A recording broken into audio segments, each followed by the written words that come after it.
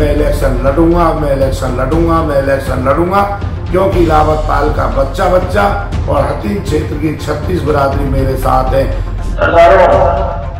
You ticket मुँह न मिली पूरी रावत पाल है मैं आपसे नतमस्तक हूँ। जैसे आप आदेश हो ऐसे तो माफ़ कर ठीक है मैं चाहिए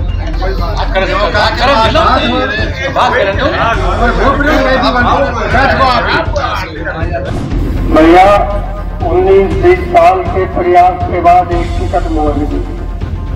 मैं कोई बाहर से तो मैं हूँ। मैं, ये आशीर्वाद मैं आप सबसे।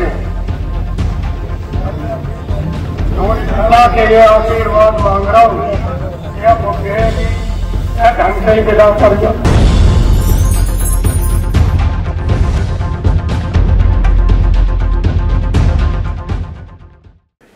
दोस्तों, नमस्कार।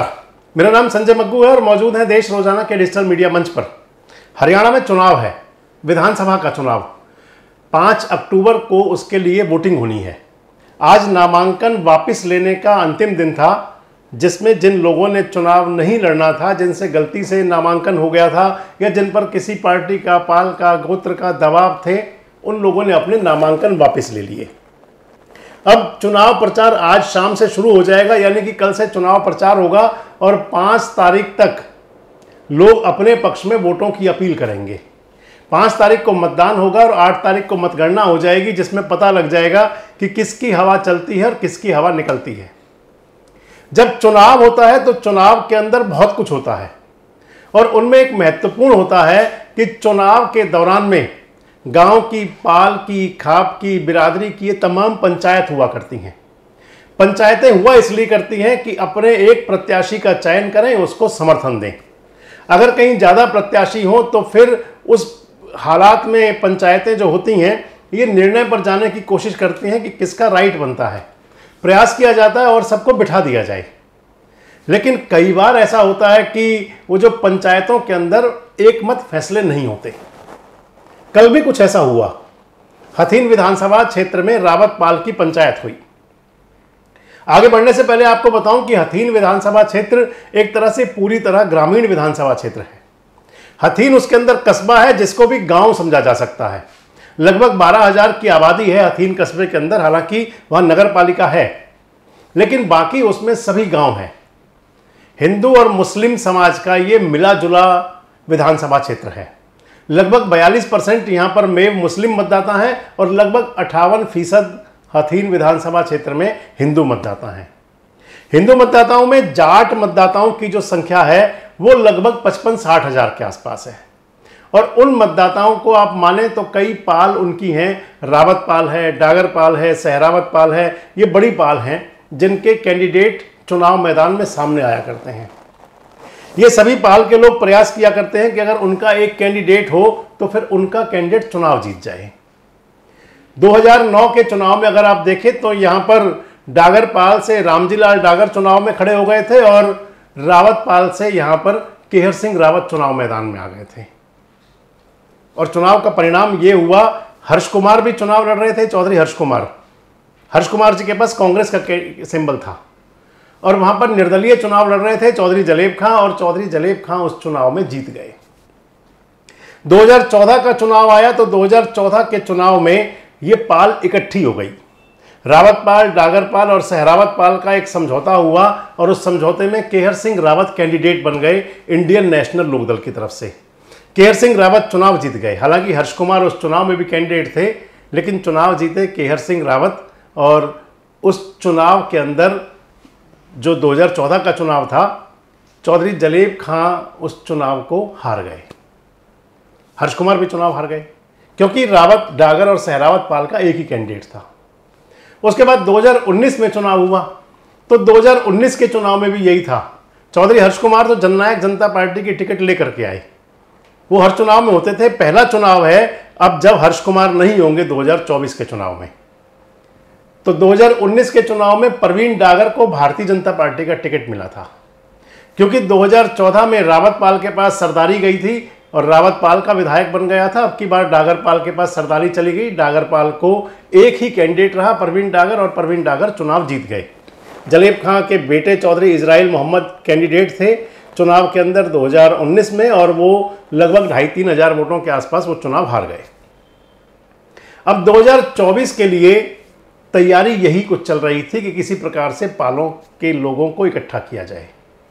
इस चुनाव के अंदर मैं आपको पहले बताता चलूँ कि रावत पाल से तीन कैंडिडेट चुनाव मैदान में हैं, तीन प्रत्याशी।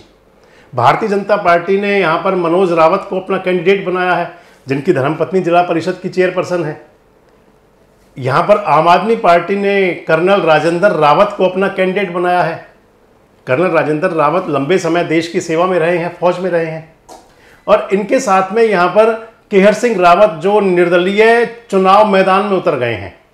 और केहर सिंह रावत को जो 2009 में विधायक बने थे, वो अपने दम पर, उनके पास भी कुछ पाल के लोग हैं और वो उन दम पर चुनाव मैदान में उतरे हुए हैं। इसके साथ साथ सहरावत पाल से भी दो कैंडिडेट हैं। धर्मेंद्र तेवतिया जो बार एसोसिएशन पलवल के जिलाध्यक्ष रहे हैं, सरपंच रहे हैं दुर्गापुर के, और आजकल उनकी धर्मपत्नी जिला परिषद की सदस्य हैं। धर्मेंद्र तेवतिया भी चुनाव मैदान में है और जननायक जनता पार्टी का टिकट ले आए रविंदर सहरावत। बीजेपी छोड़ करके वो जेजेपी में चले गए। ये पाँच जाट प्रत्याशी हैं। अब मैं आपके पास आ रहा हूँ मुद्दे की बात को, जो मैंने आपको बताया कि कल रावत पाल की पंचायत हुई। रावत पाल की पंचायत बुलाई गई। संभवतः कारण उसका यह रहा होगा कि किसी एक नेता के पक्ष में वो फैसला करें। लेकिन पंचायत को देख करके ऐसा लग रहा था कि जैसे वहाँ पर मनोज रावत जो बीजेपी के कैंडिडेट हैं, उनके पक्ष में वो फैसला करने की बात पहले से तय थी। जबकि पंचायत में यह हुआ करता कि लोग बैठते हैं, एक दूसरे के विचार लिए जाते हैं और उसके बाद मंथन होता है। मंथन के बाद में जिस प्रकार समुद्र मंथन हुआ था, समुद्र मंथन के अंदर विष और अमृत निकला। किसको विष मिलना है, किसको अमृत मिलना है यह भी तय हुआ। लेकिन यहाँ जो पंचायत हुई, रावतपाल की रावतपाल की पंचायत के अंदर मनोज रावत कैंडिडेट पहुँचे, उसके अंदर कर्नल राजेंद्र रावत पहुँचे, वो भी कैंडिडेट आम आदमी पार्टी के, और केहर सिंह रावत जो निर्दलीय चुनाव लड़ रहे हैं, वो नहीं पहुँचे। केहर सिंह रावत अस्वस्थ हो गए, शाम को अस्पताल में भर्ती हो गए। मैं आपको बताऊँ कि पंचायत के अंदर क्रमवार चला क्या। कर्नल राजेंद्र रावत पंचायत में पहुँचे और उन्होंने अपनी बात रखी। उन्होंने कहा कि मैंने 20 साल देश की सेवा की है, राष्ट्रीय राजनीतिक दल का मुझे टिकट है। और सबसे पहले मेरा टिकट हुआ था। राजेंद्र रावत ने यह भी कहा कि उम्र के उस पड़ाव पर है जहाँ अगला चुनाव नहीं होगा। आप सुनिए राजेंद्र रावत ने क्या कहा। भैया, उन्नीस बीस साल के प्रयास के बाद एक टिकट मोड़ दी और ये भी राष्ट्रीय पार्टी की टिकट है। यही नहीं, अब मेरी उम्र भी छिहत्तर साल हो चुकी है। इससे आगे मोटर भी नहीं आप सब समझते हैं, उम्र का फ़र्क तो ही अभी तक जो घुटना में ग्रीस बन रही है, अब पाँच साल बाद बने, कितनी रहे, ना रहे, ये तो सब भैया, मेरी पास में मैं चारों ही बाबा हूँ मैं कोई बाहर से तो मैं हूँ मैं, ये आशीर्वाद मैं आप सबसे अल्लाह के ये आशीर्वाद मांग रहा हूँ। ये मुखेगी क्या ढंग से ही विदा कर जाओ और समझ एक बार से देख। भैया दे दो है मैंने मुखे आपके बीच में है कोई भाई आज तक यूँ बता दे। कर्नल ने भाई का साथ ना दिए हो। काय के संग को ऐसी बात करिए हो जो ना करने वाली हो। तो भैया, मुझे बता दें लोग के लिए क्षमा मांगने के लिए अभी आ रहा हूँ आपके पास। फैसला मान करेगी। और भाई, ऐसा है राष्ट्रीय पार्टी की टिकट होती है तो अगर ये ना होती तो मैं जो भी फैसला होगा, वह त्याग है जो मैं हमेशा से करता है, पाल के नाम पे। मैंने पाल के नाम पे हर बार त्याग किया है। भैया, इतना बड़ा त्याग भी मत बनाओ तो आपसे एक विनती है, अनुरोध है कि भैया पाँच का सहारा मुझे चाहिए और मैं आपको सहारा आप मुझे तो कर्नल राजेंद्र रावत एहरवा गाँव के हैं। एहरवा गाँव से आते हैं कर्नल राजेंद्र रावत। उस पंचायत के अंदर मनोज रावत बोलने के लिए खड़े हुए। मनोज रावत नांगल जाट गाँव के हैं, वो भी रावत पाल के हैं। मनोज रावत जब खड़े हुए तो उन्होंने उन्होंने इमोशनल भी किया। उन्होंने कहा कि केहर सिंह रावत ने नामांकन भर दिया है, हम उनको मनाने गए थे और बाद में मनोज रावत भावुक हुए हालाँकि मैं आपको बताऊँ, इस चुनाव में हम पहली बार देख रहे हैं, जो इमोशनल वाला जो सीन चल रहा है इस चुनाव के अंदर, जिनको टिकट मिल रहा है वो भी रो रहे हैं, जिनको टिकट नहीं मिल रहा वो तो रो ही रहे हैं। खैर, मनोज रावत आए। मनोज रावत साहब ने अपनी बात कही, आप सुने मनोज रावत ने भी क्या कहा? मेरे पापा चाचा, मेरे पिताजी सुखराम चाचा प्रकाश, चाचा गोपाल, चाचा बुधराम, मेरे परिवार, बड़े भाई केसरी रावत के पास गए थे। वहाँ पे भाई साहब घर पे मिले नहीं, उनका बेटा मिला था। उनसे फ़ोन पर बात हुई। उनके बेटा ने फ़ोन पर बात करवाई। तो बोले, मैं बाहर हूँ, मैं भी नहीं आऊँगा, बाद में बात करूँगा। सरकारों अगले दिन सुबह पूरे गाँव की पंचायत बुलाई। पंचायत में फैसला हुआ फूक वाइज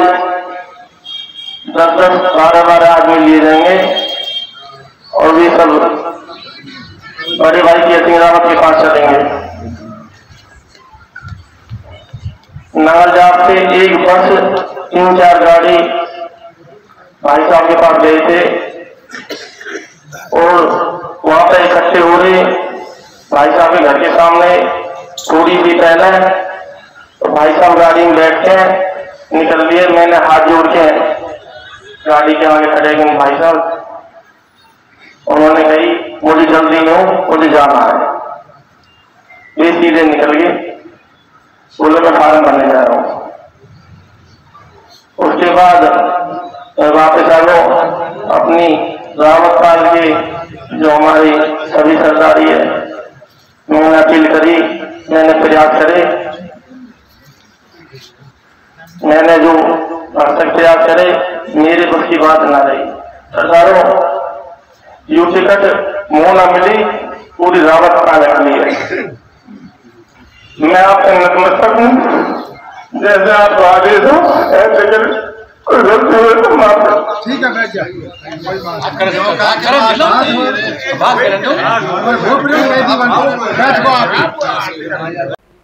बाद में बताया जाता है कि केहर सिंह रावत को ढूंढा गया। केहर सिंह रावत पंचायत में नहीं पहुँचे थे। कर्नल कर्नल राजेंद्र रावत तो अपनी बात कह करके रुखसत हो गए। उनको पता चल गया कि उनके पक्ष में पाल कोई फैसला नहीं करने वाली। और कर्नल राजेंद्र रावत, क्योंकि आम आदमी पार्टी के घोषित प्रत्याशी हैं, आम आदमी पार्टी भी नेशनल पार्टी है देश की, और सबसे पहले उनका टिकट हुआ था। कर्नल राजेंद्र रावत को सबसे पहले टिकट डिक्लेयर किया गया था। अभी जब सब लोग दिल्ली की दौड़ लगा रहे थे तो colonel Rajendra Rawat door to door प्रचार किया करते थे। खैर, जब केहर सिंह रावत पंचायत में नहीं पहुँचे। तो फिर वहाँ के कुछ मुकदम ठोंडा, पहले केहर सिंह रावत के नौ सदस्यीय कमेटी बनी बताया जाता है। वो पहले केहर सिंह रावत के घर गए और उसके बाद में वो केहर सिंह रावत का पता चला कि वो फरीदाबाद के एशियन अस्पताल में भर्ती हैं तो सरदारी वहाँ पर भी गई। सरदारी जब वापस आई तो उन्होंने कहा कि केहर सिंह रावत ने अपना समर्थन पाल को दे दिया है और केहर सिंह रावत ने भाजपा कैंडिडेट के पक्ष में समर्थन दे दिया है और पाल की पंचायत ये कहते हुए उठ गई कि अब पाल बीजेपी कैंडिडेट मनोज रावत के साथ है। अब विरोधाभास यहाँ शुरू होता है।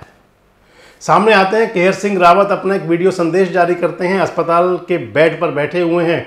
ड्रिप उनको लगी हुई है क्योंकि कनूला लगा हुआ है, दिख रहा है, कनूला लगा हुआ है तो ड्रिप चली है। और केहर सिंह रावत कह रहे हैं कि मैंने किसी को कोई समर्थन नहीं दिया। आप सुनिए केहर सिंह रावत ने भी क्या कहा।